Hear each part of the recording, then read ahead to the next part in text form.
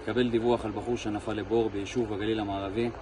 למקום הוזנקו צוותים לחילוצים מיוחדים מתחנת גליל מרכזי ותחנת נוף הגליל. הצוותים הגיעו למקום, ביצעו ניטור, ובאמצעות חבלים ומערכות מיוחדות חילצו את הלכוד מן הבור, לצערנו ללא רוח חיים.